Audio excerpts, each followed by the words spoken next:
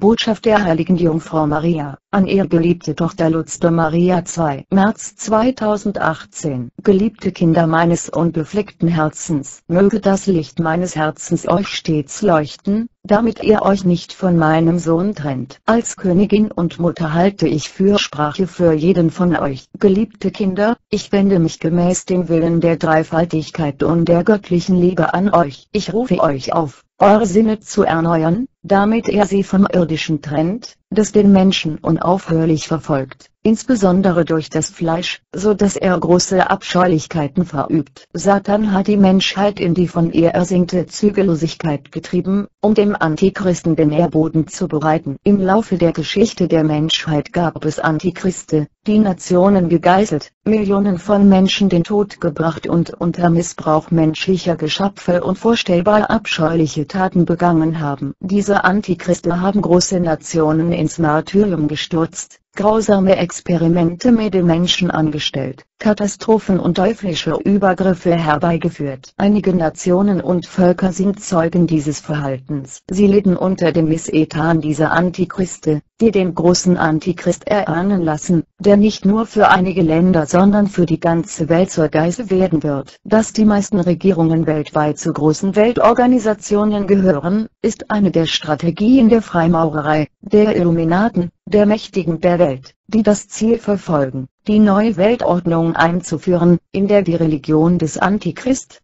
der Satanismus, herrschen wird. Die Weltwirtschaft wird die des Antichrist sein. Die Gesundheit wird von der Unterstützung gegenüber dem Antichrist abhängen. Alle werden frei sein, wenn sie sich dem Antichrist ausliefern. Man wird ihnen die Nahrung bereitstellen, wenn sie sich dem Antichrist hingeben. Das ist die Freiheit, der sich diese Generation hingibt. Die Unterwerfung gegenüber dem Antichrist. Ihr bewirkt ein ständiges Leiden meines Sohnes, da ihr voller Verachtung gegenüber dem Leben so vieler Unschuldiger seid, denen man den Tod bringt. Die ungehindert zugelassenen Abtreibungen entsprechen der Verachtung des Lebens sind schwere Sünden gegen den Heiligen Geist. Die Frau hat ihre Scham verloren. Ihre Bekleidung in den Städten tendiert zur völligen Entlassung und der Mann wird zu einem schrecklichen, menschlichen Raubtier, das auf das Fleischliche fokussiert ist. Der Mensch ist allem Fleischlichen zugewandt und ist ihm gegenüber nachgiebig, wobei er vergisst, dass je mehr er es zulässt, in diesen Zustand versetzt zu werden, desto stärker er von den gefallenen Engeln ergriffen wird, die auf Erden sind und die Menschheit fortwährend in Versuchung führen. Ihr befindet euch in einem sehr gefährlichen Augenblick, in dem das Heilige nicht mehr heilig ist, das Profane nicht mehr als Profanes gilt, die Sünde keine Sünde ist und der Gehorsam vom Ungehorsam gegen meinen Sohn überschattet wird. Die Frau verachtet mich, da sie Zügellosigkeit wünscht, und ich werde in karnevalesken, skandalösen Szenen und als Sünderin dargestellt. Mir tun diese Menschen leid und ich suche nach ihnen aus großer Liebe. Sie sind Gefangene des Bösen und wenn heute ein heiliger Priester den Ritus des Exorzismus bei ihnen anwenden würde, würden die Dämonen zur Überraschung aller entfliehen. Diese Generation lebt in Zeiten vor der Ankunft des großen Überbringers der größten Katastrophe, die die Menschheit seit ihrer Bestrafung durch die Sintflut erlebt hat. Diese Ausschweifungen, mit denen denen die Menschheit lebt, sind Bestandteil des hinterlistigen Plans des Teufels, Seelen an sich zu reißen. Die Freiheit, an die die Menschheit appelliert, ist dieselbe, die diese Generation ins Chaos, in die Abkehr von Gott und letztendlich in die Missachtung des göttlichen Gesetzes, der Sakramente und der Werke der Barmherzigkeit stürzt. In diesem Moment warnt der Himmel den Menschen weiterhin vor der Sünde und ihren verschiedenen Ausprägungen, durch die das Volk Gottes getäuscht wird. Noch ist nicht alles verloren, denn es gibt Seelen, denen es nach der Liebe Gottes dürstet. Seelen, die sich der Liebe Gottes hingeben. Seelen, die den Willen Gottes tiefer ergründen, um auf dem stürmischen Weltmeer der Sünden zu überleben. Seelen, die ein Wort, eine Gäste, einen Aufruf brauchen, um sich zur Umkehr zu entschließen. Seelen, die unermüdliche Kämpfer gegen das Böse sind. Seelen, die irgendwann umkehren werden. Ihr erhält keine Neuerungen oder Änderungen in Bezug auf die Heilige Schrift. Ihr erhält ständige Warnungen, um aufzuwachen und euch nicht im Schlund der Hölle zu verlieren. Dies ist der Moment, vor dem ich euch bei meinen vorherigen Erscheinungen gewarnt habe. Dies ist der gefährlichste Moment für euch als Menschheit. Aus diesem Grund und trotz all der Ungläubigkeit und des Spotts gegenüber den Rufen aus dem Hause des Vaters, wird der Himmel nicht verstummen. Ihr müsst die Beziehung zum Hause des Vaters stärken, müsst mit dem Herzen beten, müsst in Verbindung mit meinem Sohn leben und ihn gebührend vorbereitet empfangen, müsst immerzu bei meinem Sohn bleiben und das Gesetz Gottes erfüllen. Geliebte Kinder meines unbefleckten Herzens, der Kommunismus schrumpft nicht, sondern wird größer und gewinnt an Macht. Lasst euch nicht verwirren, wenn man euch das Gegenteil erwähnt. Der Kirche meines Sohnes wird großes Leid widerfahren. Italien wird von der Natur überrascht und infolge eines Vulkanausbruchs zum Opfer des Grauens werden.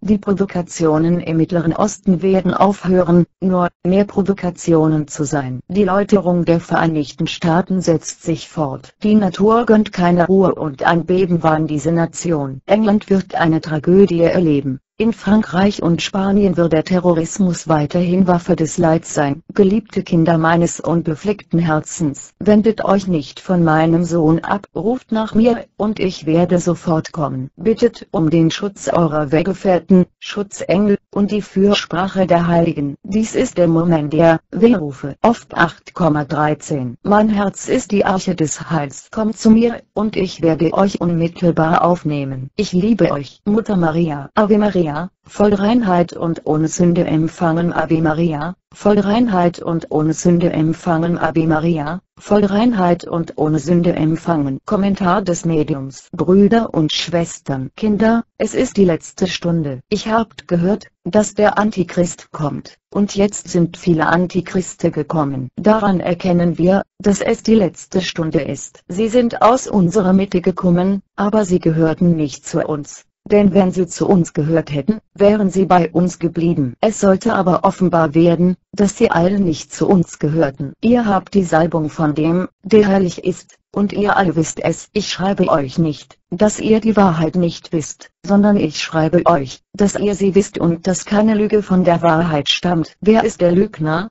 Wenn nicht der, der leugnet, dass Jesus der Christ ist, das ist der Antichrist, Wer den Vater und den Sohn leugnet. 1 CO 2,18 bis 22. Amen.